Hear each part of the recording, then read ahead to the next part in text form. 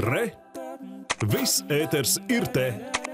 Все остаются на своих местах в самоизоляции. Правительство сегодня решило продлить режим чрезвычайной ситуации еще на месяц, вплоть до 12 мая. По словам премьера Кришиниса Каринша, ситуация с COVID-19 стабильная, но расслабляться нельзя.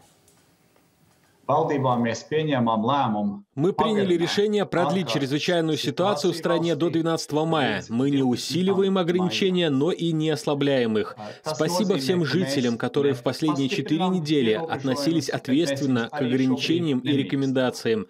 Благодаря этому мы смогли сдержать ситуацию. Спасибо всем медикам, полицейским, пограничникам, представителям СМИ, всем, кто работает на линии фронта.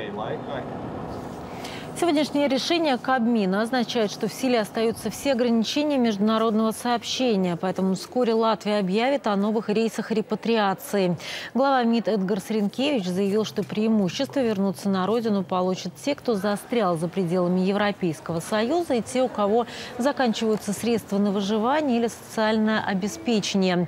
Министр здравоохранения Илза Винкелы призвала во время пасхальных выходных соблюдать меры безопасности и не впадать в весенний caminho e farei.